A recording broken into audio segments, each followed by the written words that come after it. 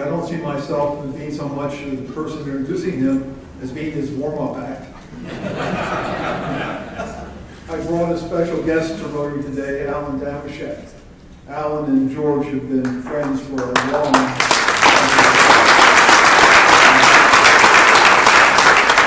We've been friends for a long, long time. Some would say since the eighth day of creation. This is a very special week for George. He's finally giving what amounts to as his uh, uh, classification talk to Rotary, and he turns 85 years old on Friday. George, George has asked uh, Bill Wolf to be here today, I think mainly because he likes to have somebody call him kid. Bill turned 93 last week. George is a radio guy, really a radio pioneer. In his 30-year career, he was general manager of WORK, a, uh, a play-by-play sports announcer and a sports talk show host. They would have given him a drive time slot, but they were afraid his voice might scare the horses. Scare the horses. You're, you're, you're safe. He joined the Rotary Club of New York on January 3rd in 1968, 46 years ago. 45 of those years have been spent sitting at that table. From 1977 to 1988, he was in administrative position at Memorial Hospital, during which time he served as president of the Rotary Club from 1983 to 1984. In 1987, he led a district exchange to the third world country of Bangladesh. Surviving that, he figured what else could he do, so he went into politics. In 1988, he was elected a York County Commissioner and served as President Commissioner from 1992 to 1995. Another notable fact, George has been married to Chi Chi, obviously a child bride, for 60 years, which says a lot about Chi Chi's patience. Over the years, George has been the voice of York Sports Night, the Spring Garden Band, the July 4th celebration, and numerous pageants and shows, and of course, as a song leader here at Rotary. If you want to know more about George, and there's a lot more to know, copies of his book, A Life, will be available in the lobby after the show, uh, or after the meeting. Rotarians and guests, please welcome the voice of York County, George Trout, to the podium with a rousing chorus of Happy Birthday. Happy birthday to you. Happy birthday to you.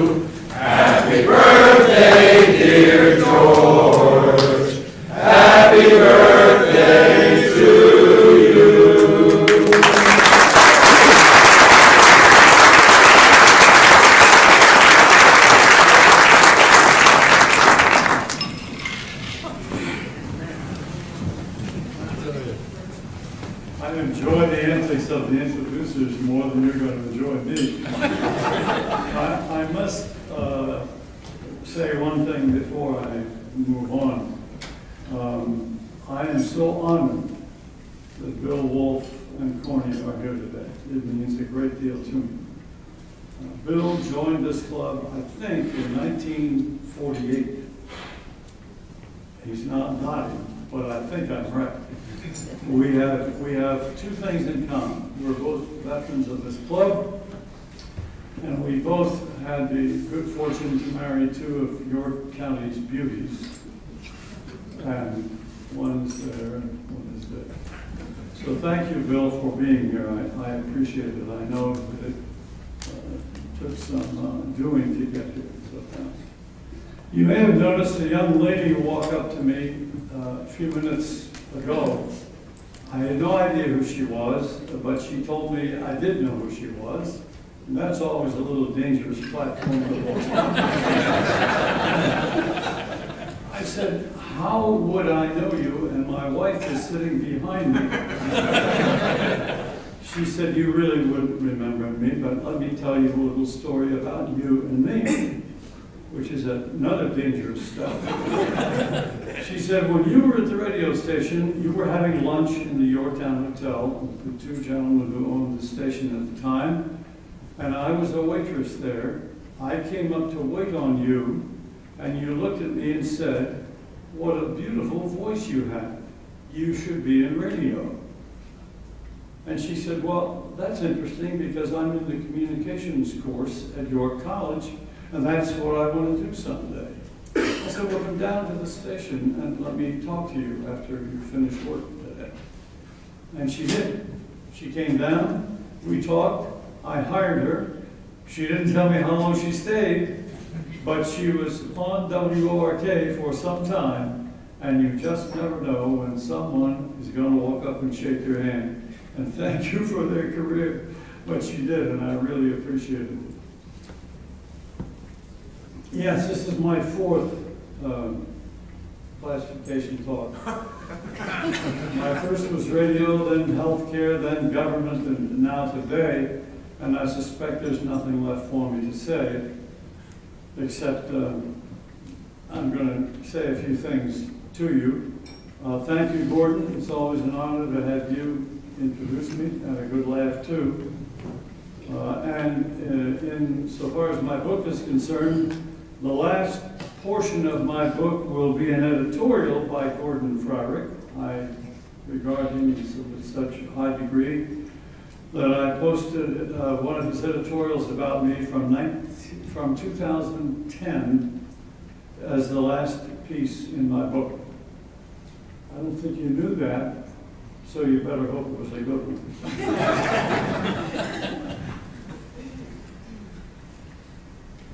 I entered the club, as Gordon told you, and participated in numbers of committees, became president in 1983-84.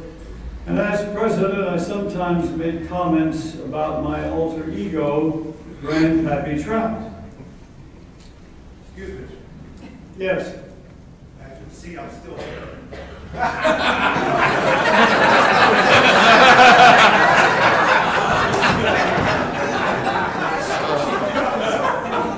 remember.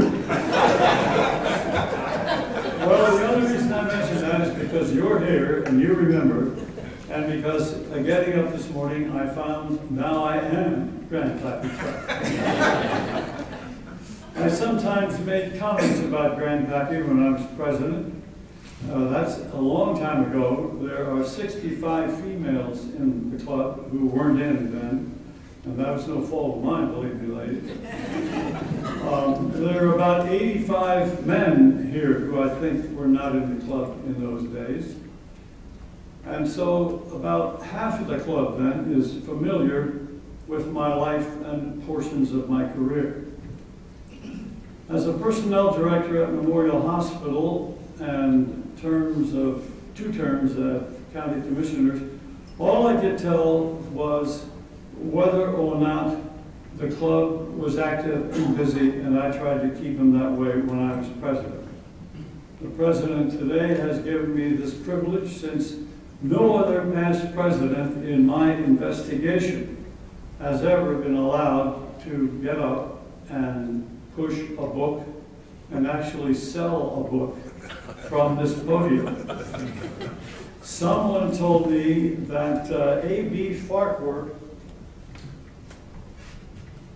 A.B. Farquhar, Farquhar Estates, Farquhar Park, wrote a book in 1922, and he did. The title of it was The First Million of the Hardest.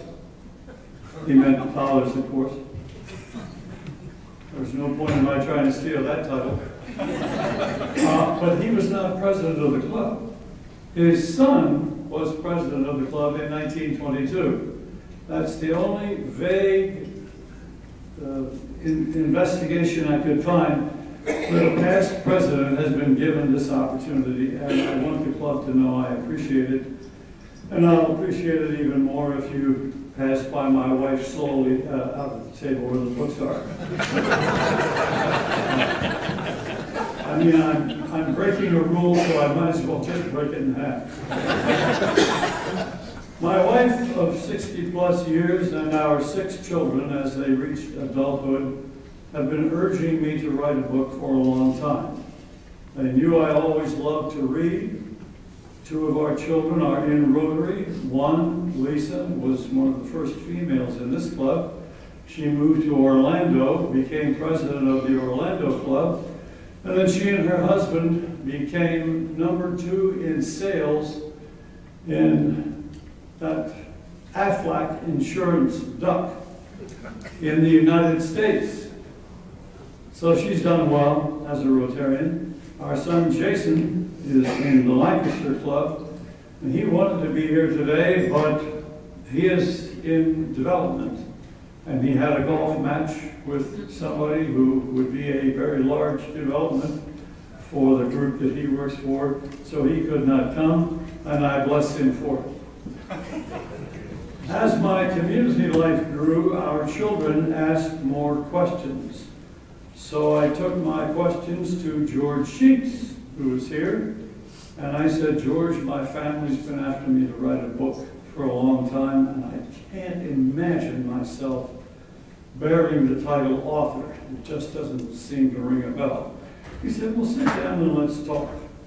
By the time he was finished, the bell rang, and I said, okay, I'm in your hands. And he smoothed the way. Now, one thing he said you'll need is a publisher. And I said, I think I know one. Jean Ream. She and her husband Jim have Ream Printing about four miles up 83, and they publish books. So I turned my material over to Jean Ream as I moved along. Uh, she also was the daughter of my second running mate for county commissioner, the late Bob Minnick.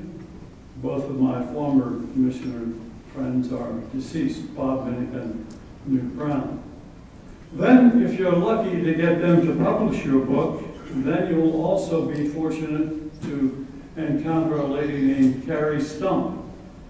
Carrie is formidable in the art of finding periods and putting them where they should be, turning bad paragraphs into good paragraphs, and that type of activity. Would you just stand for a second, Carrie? Thank you.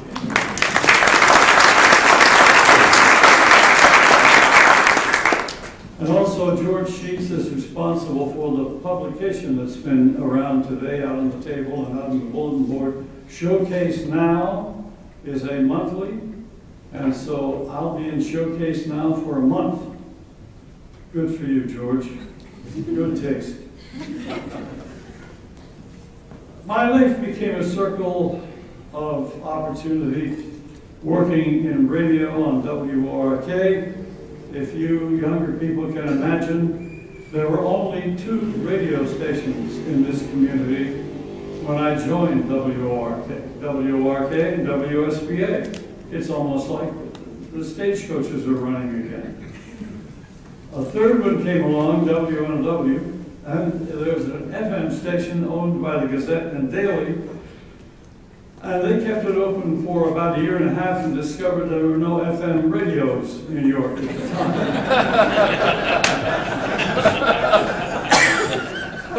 now, just a little bit of nonsense, the Gazette and Daily at the time was regarded as a very, very left-wing newspaper. And a lot of people weren't upset that their radio station failed. And I was one because it's just another competitor as far as I'm concerned. Uh, there was no TV, no local TV. So now you get the picture of me and my comment concerning uh, riding in a wagon. I stumbled into radio when a fine gent named Otis Morse IV heard me on a teenage radio show that I probably shouldn't have been on anyway. Uh, the Alcazar Ballroom on George Street, opposite what used to be our post office, was an organization called the TAC, Teenage Club. Um, it was formed to keep children off the streets as their fathers were in the army and their mothers were in defense plans. And uh, we had clubs to belong to. You could be in a ping pong club. If you played a horn, you could play in the band. A couple of my friends joined the radio club. I had nothing to do on Sunday afternoon. So I went with them and we did programs directed by Helen Miller Gottwald. just for my own satisfaction, does anybody remember Helen Miller She was a great teacher, was she not? And uh, she took Sunday afternoons to help us uh, do this radio program. After one of our programs, one day, Otis Morse came into the studio and went like that, you with the blonde hair. Yeah, that was me at the time. Um, I'd like to see you in my office. So I went in and uh, we had a little conversation. And he said, uh, I'm going to have a part-time announcing position open pretty soon. I'd like to offer it to you. Well, he could have said to me, I'd like to teach you how to train elephants to gargle or something. I mean, radio was nothing to me at the time. It was uh, what my father and mother listened to every night at 6 o'clock on WORK, the Gregory Gift program of the air, and my father always knew there was something wrong. He didn't win a suit and $10. That was radio to me at the time. I had no no idea at all. My voice was satisfactory to radio, but this was Otis Morse. And he was really Mr. Radio in, time, in town at the time. Besides, I had been since I was 14 years old working in a dental lab downtown, uh, polishing repaired dental cases and learning how to handle uh, torches to make things out of gold and I was uh, 17, 18 years old, and I got tired of going home with bloody fingers from a polishing machine to, to make your dentures smooth. Some of you may be running your tongues around your mouth right now. I, I may have had something to do with that. At any rate, Morse said, well, keep it in mind and uh, we'll, we'll stay in touch. I said, fine. A week later, he called me and he said, there's a new station opening in town on Duke Street, opposite the Yorktown Hotel, where the old City Hall used to be. It's WNOW, and why don't you go down there and audition? I really think you'd do well in radio. So I did. And guess what? The man was just as smart as Odie Morse. He offered me a part-time job at radio. I couldn't get full-time offers. About two weeks later, Odie Morse called me again and said there's a full-time job at WORK go down and ask for Harold Miller. I did. We auditioned, I auditioned for him for about uh, 45 minutes, reading a lot of news and baseball scores and so on. He said, I'd like you to work here full-time for $38.50. Well, I was a full-time announcer and rich. How could I turn something like that down? I, I, I didn't, of course. It was my first full-time job in radio. My first commercials I remember well. The first one was from the York Shirt Shops, who I understand have gone out of business. I hope I had no bearing on that. My other commercial was Mount Grove Cemetery, and I understand they're still accepting customers. My early assignments from Harold Miller, who was the manager, were any stars, anyone of any importance who came to York that would make interesting listening on WORK. The York Fair would be um, one of the first, of course, um, big stars every year. But in those these recent years, they've had bands and groups. In those days, they had one or two big star inter, in, uh, interviewers um, I don't know if, it, does anybody remember Eddie Cantor? A few weak hands there. Well, Eddie Cantor, I think, would be, without going too far, an Elvis Presley of his day. He was a major star. I thought, how would I get to interview Eddie Cantor? Well, I called the Yorktown Hotel. They put me through to his room. We spoke. He said he'd meet me at the fairgrounds seemed simple, this life that I was getting into. And he did meet me at the York Fairgrounds with every major media person in York, Lancaster, and Harrisburg. All older men, no ladies at the time, all older men waiting to jump in and have a talk with Eddie Cantor. He said, I'm here to see Mr. Trout. Is Mr. Trout here? And I shrank against the wall and thought, holy cow, Harry McLaughlin and all those guys, and he's asking for me. He said, uh, then I'll have to talk to you. I can't see you other folks.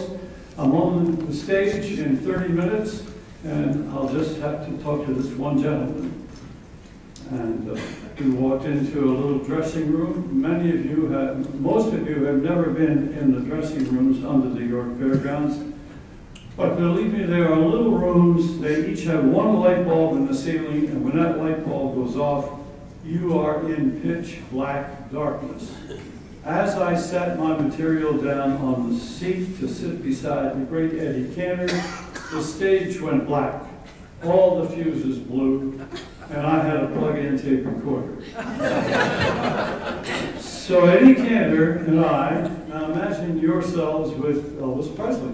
Elvis, uh, Eddie Cantor and I sat in the dark for 25 of the longest minutes of my life because I didn't have a portable tape recorder. They hardly existed at the time. Well, that's how it started. Uh, Eddie and I, when the lights came back on, uh, he said he would be glad to talk to me for 30 minutes. And that's how my life of interviewing stars in York, Pennsylvania began.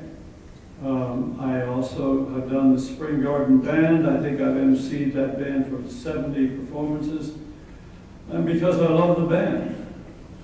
Uh, I- eventually, I got into 50 years of talent hunting for York Sports Night.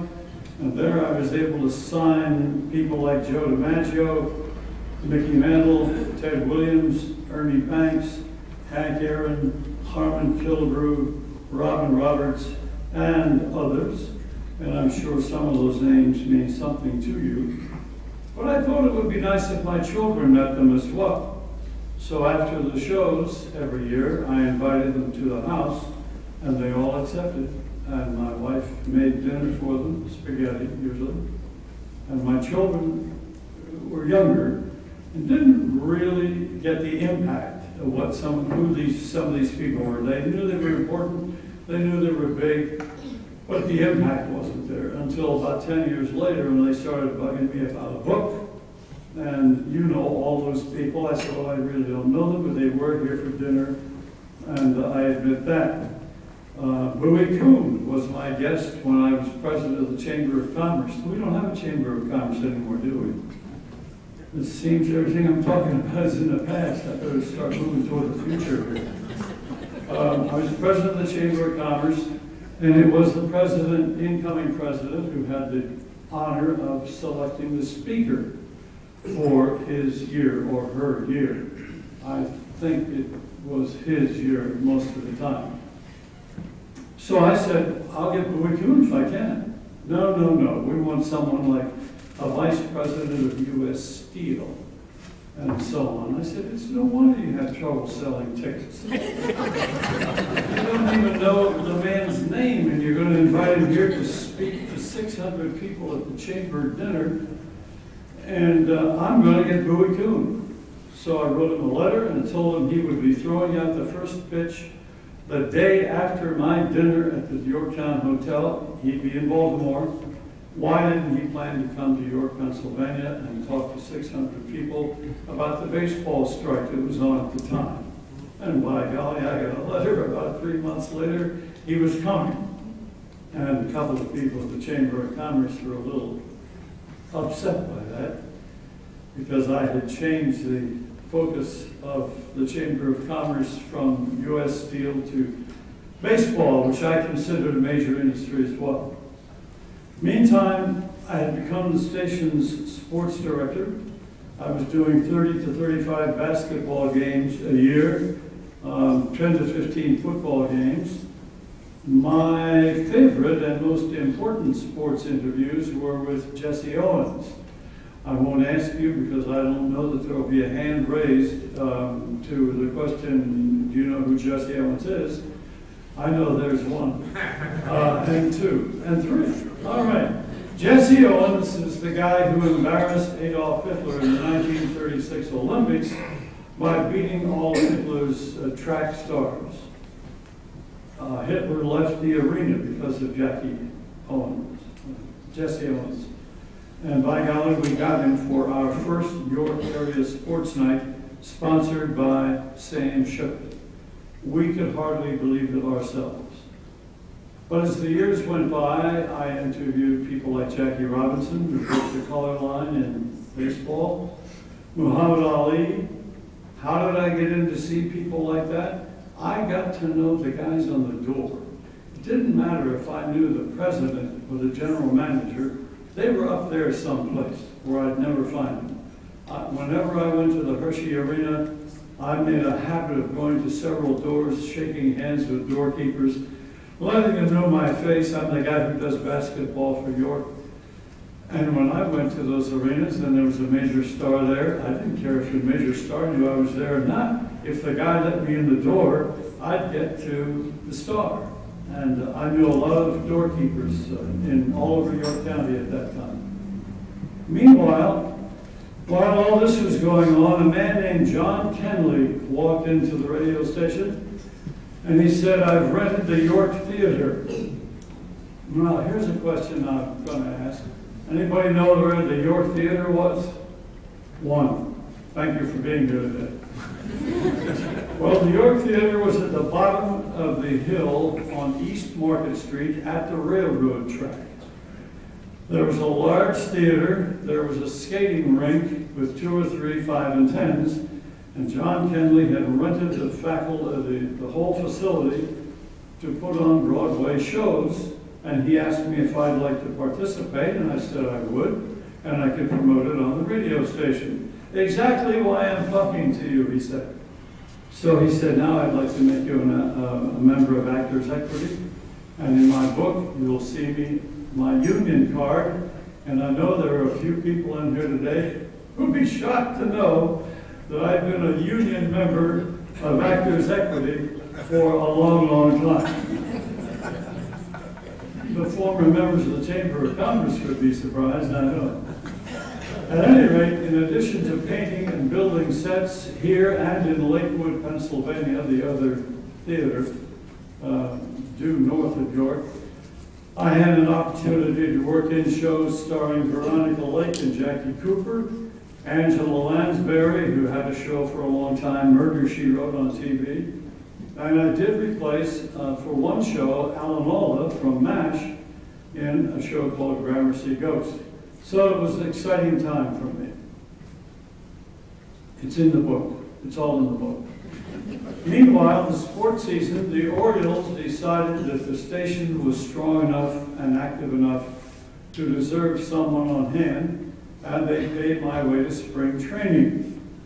And I went there for a number of seasons. I also had uh, several trips out of town with the team, got to know them very well. I had one of the funniest baseball interviews of my career with a future Hall of Famer named Thurman Munson. He's been deceased now for some time. You won't believe what Thurman Munson and I did and how we did it, but it's in the book.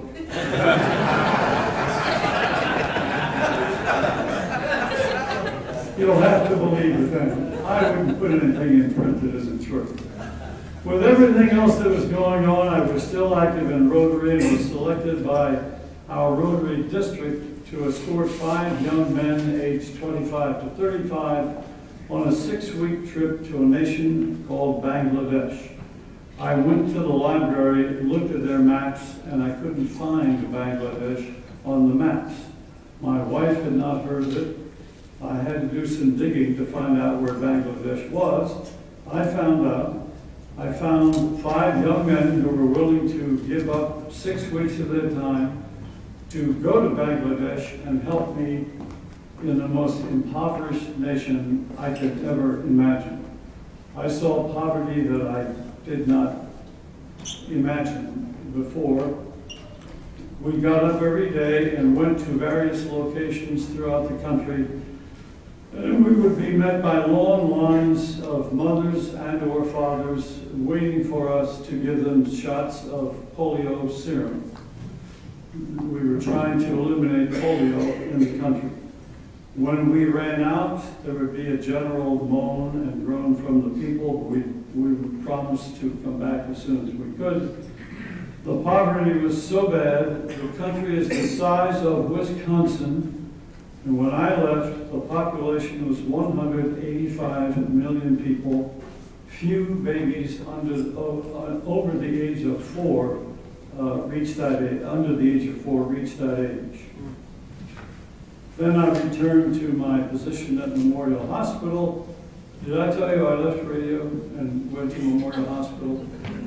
Well, uh, I was on the uh, board of directors of Memorial Hospital, and they decided for the first time to hire a personnel director since they had reached 800 employees. And I was at the table that night, and I nudged my old friend from radio, Otis Morse, and I said, Odie, that's a job for me. He said, you're leaving radio? What's wrong? I said, it's just not what it used to be. I'd like to have that position. You may call that political activity, you may call it taking advantage of a situation, but that's the position I got um, at Memorial Hospital. I went back to it when I came back from Bangladesh. And then I thought I owed my wife some time, so we traveled to Greek islands, Turkey, the Holy Land. We walked the Great Wall of China. If anyone else has been there, you know that you can't really walk it very well because if there's a hill, you slide the whole way down. The millions of footprints that have been made on those bricks prevent you from walking very carefully. And she will confirm with me the number of ladies cried all the way down on their fannies. They simply couldn't walk. We still believe, with all of our traveling in the world, that Pennsylvania and Alaska are the two most beautiful states in, in the country. After all of my life of traveling and interviewing and meeting people, I carried a tape recorder, I carried a camera, there's lots of, there's 159 pictures in my book. And I also carried black and blue, uh, black uh, uh, pens, thick pens. And I thought to myself, these are important people, maybe I should get a few signatures. And I started, and I got six each time because I said, yeah, we have six children, I'd like you to six, sign six of those. Jackie Robinson smiled and said, you really have six children? I said, yes. He said, okay, give me the balls. And uh, he signed all six balls, and everybody else that I met did the same thing. And when I decided to stay home with my wife and help her in the garden or whatever else she needed me to do, I discovered that I, we had collected, I had collected 30,000 signed items for my children.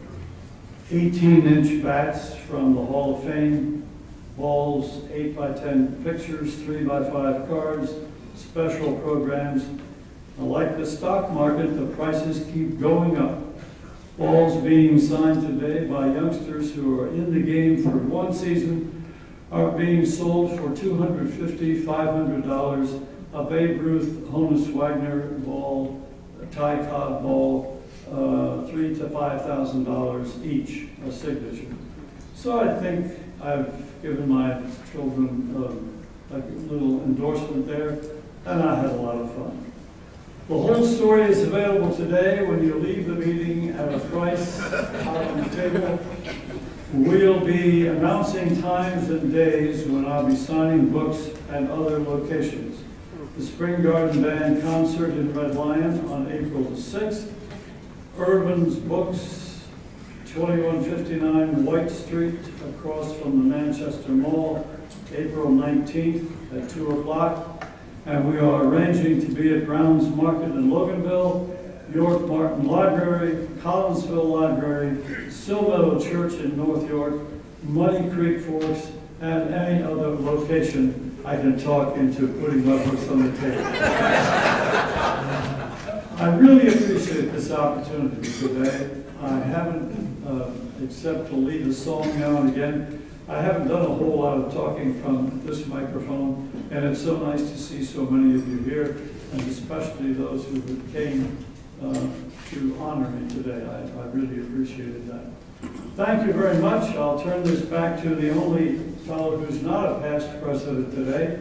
But two days from today, maybe, if we keep it going the way it's going. Al Sykes, thank you. Thank you.